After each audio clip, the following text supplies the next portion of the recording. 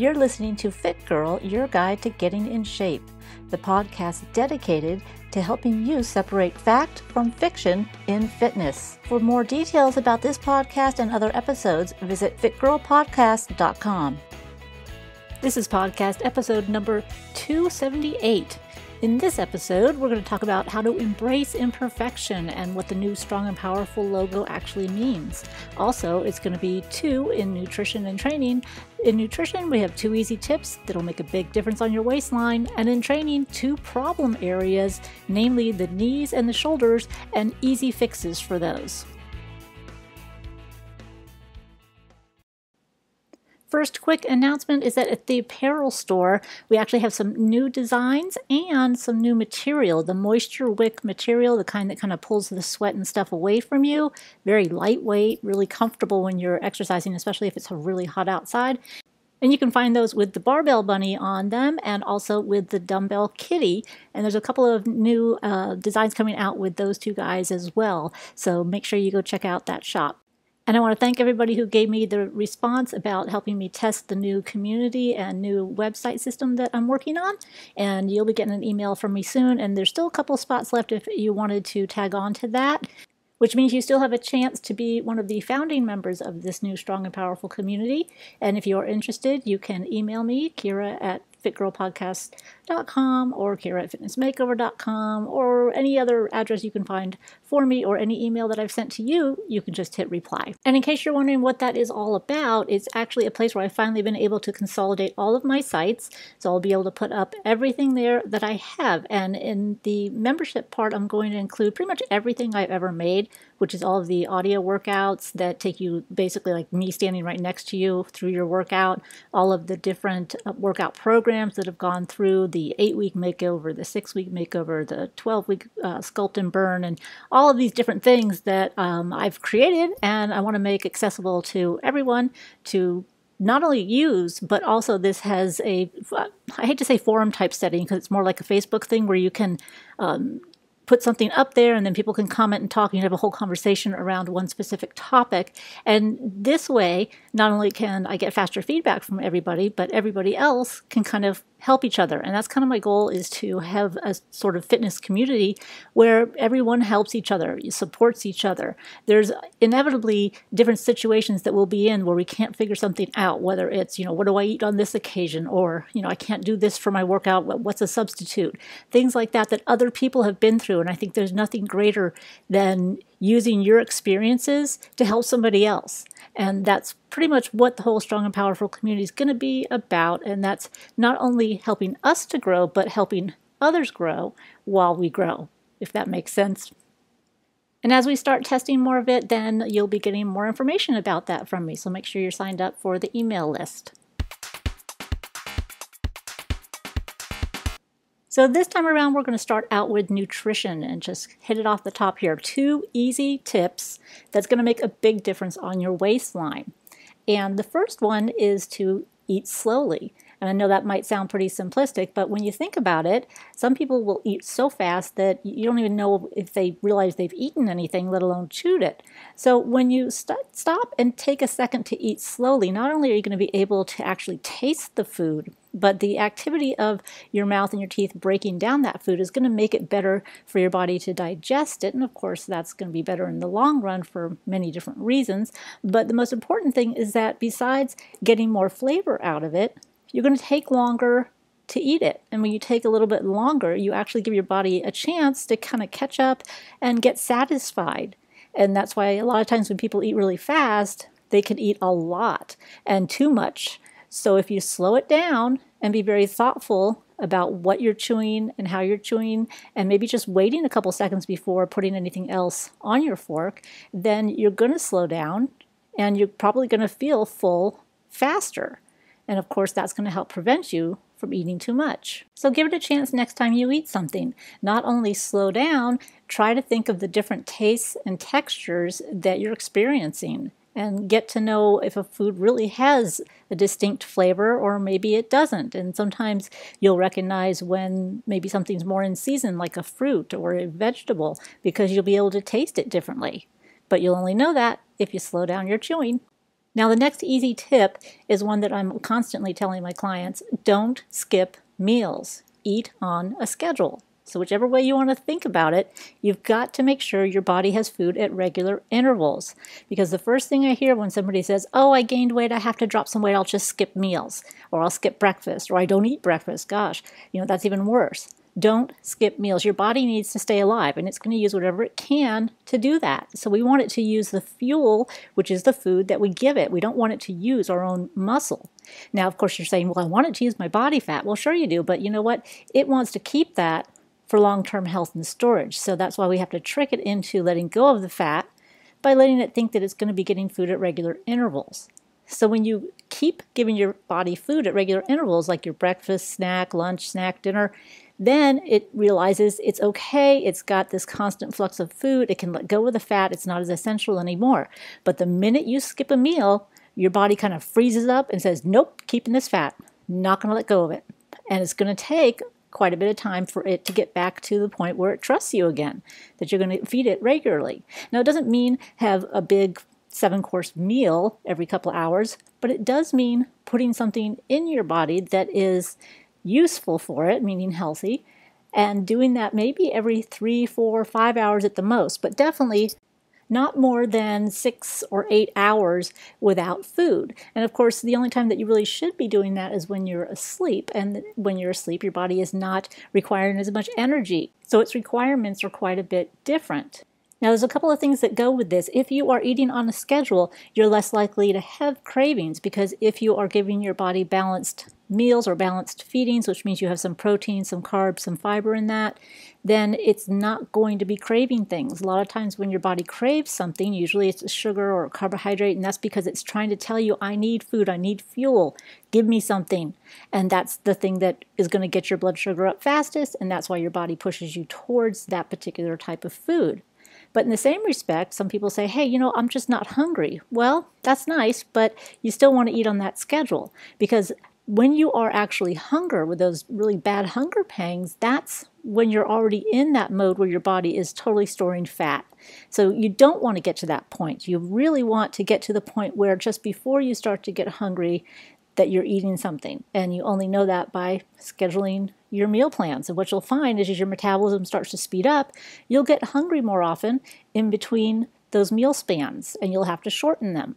And that's good because your metabolism is increasing. And it might also mean you need to add a little more food or you might need to change some of the dynamics of the components. And that's a whole other topic we'll have to hit later on. Although meal components and you know basically how to make a balanced meal is a whole other subject. We do teach that in the fitness makeover program because it is so key to boosting your metabolism and having your body work at its optimal function. So the one thing I do want to clarify is that the meal components make a difference, not so much what time you're eating this. And I know there's a lot of times people same thing. Oh, I got to lose weight. I know I have to stop eating after six o'clock. It's like, no, you don't. You have to stop eating bad things after six o'clock, but that doesn't mean you have to stop eating. So it goes back to what you're eating, not necessarily what time of day that you're eating it. So if you eat something before bed, depending on what it is, it might actually benefit you. Um, of course, if it's something that you know you shouldn't be eating, then it's not. But that's what it boils down to making the right decisions and making informed decisions so that you can do things that will actually help your body. Okay, so from now on, you're going to eat slowly and chew your food very, very well and take your time eating.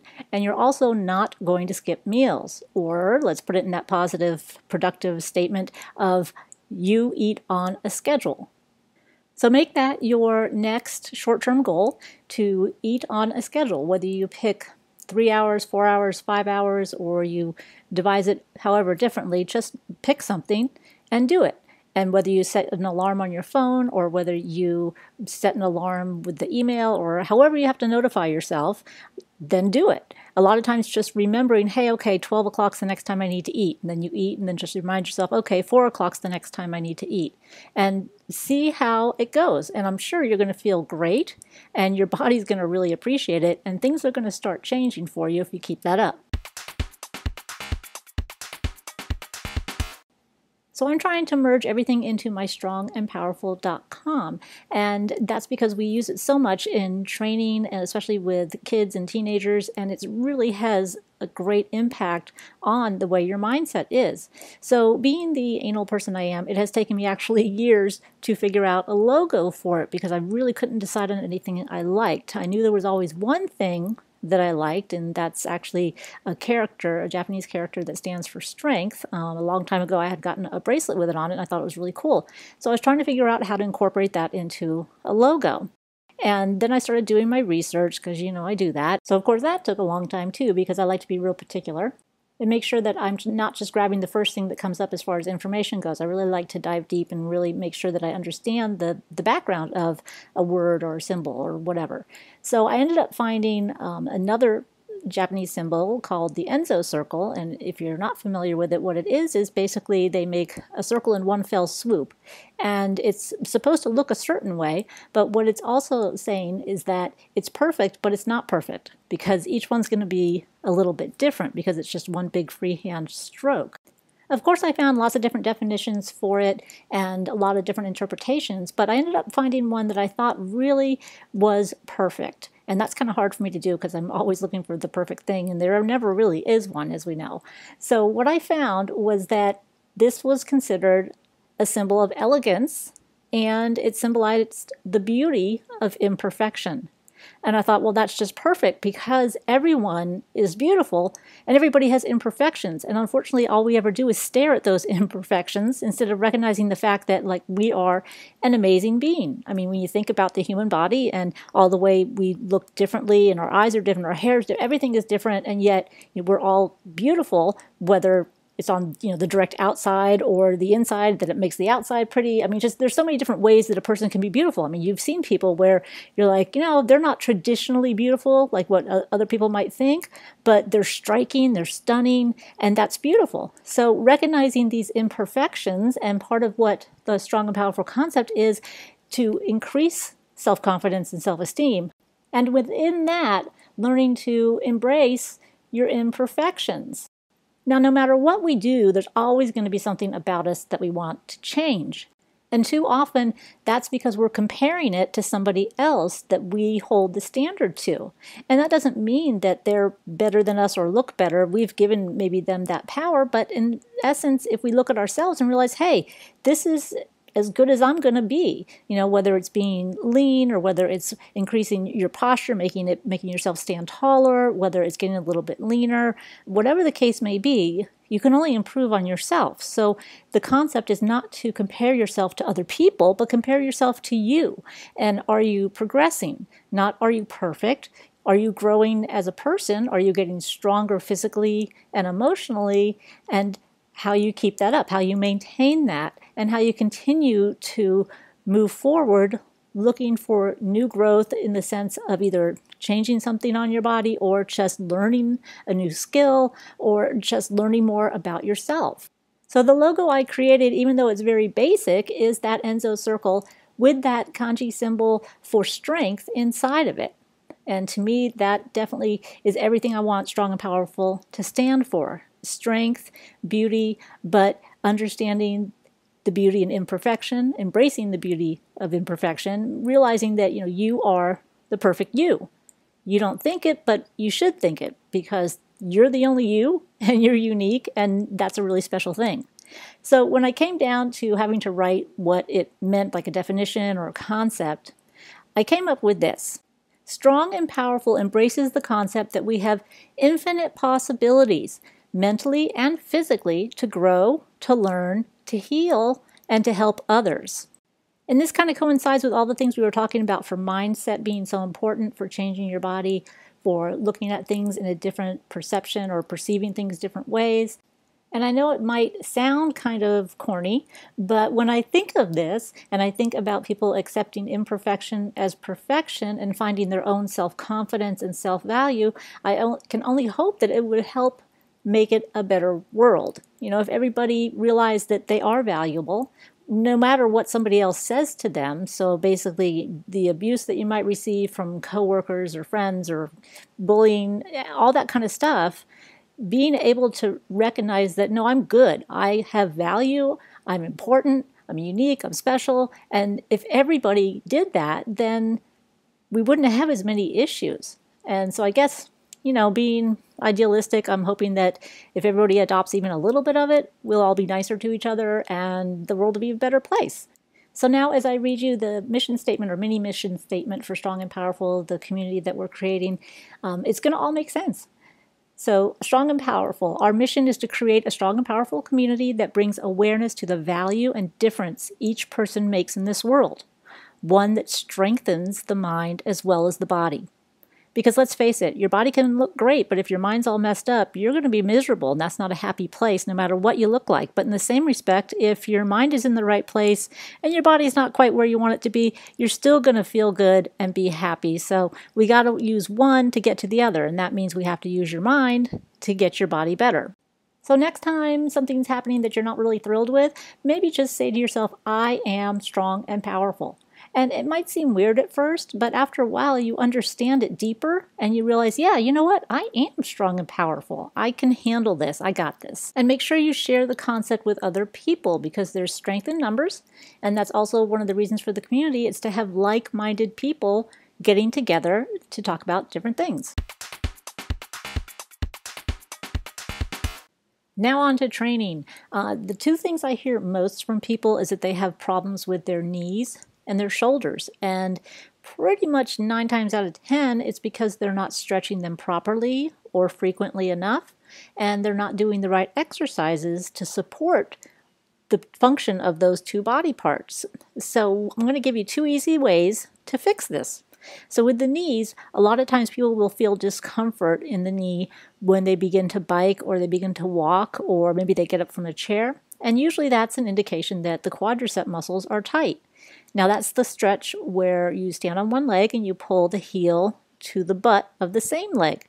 Now, for some people, it's not too easy to stand on one leg. I always suggest holding on to something because I want people to focus on the stretch, not trying to stand on one foot. But if that's also an issue, you can do it laying down in bed and just lay on your side and bring your foot up to your heel. Now, eventually, you'll be able to get it all the way up there. Um, and then you'll be able to move your thigh slightly back. The main thing is that when you're doing it, try to keep your body upright because all of these muscles are connected. So just because you're stretching the quad, you also want to stretch that hip flexor and everything that connects all the way up to your shoulders because believe it or not, you can have tight quads, tight hips, and that be giving you problems and issues with your shoulders. Likewise, your neck and shoulders can follow all the way down and mess up your lower body too. So the main thing is to do that the minute you start feeling that discomfort. Stop, hold the stretch for about 10 seconds, and then continue on, see how it feels. That way, at least you've got some blood flowing into the muscle before you stretched it, and then hopefully you can stretch it a little bit longer or as you go through that particular session and then do more at the end. But the main thing is just do it. Now, the other thing I notice when it comes to knees is that people don't do things correctly, no matter how much we try to instruct.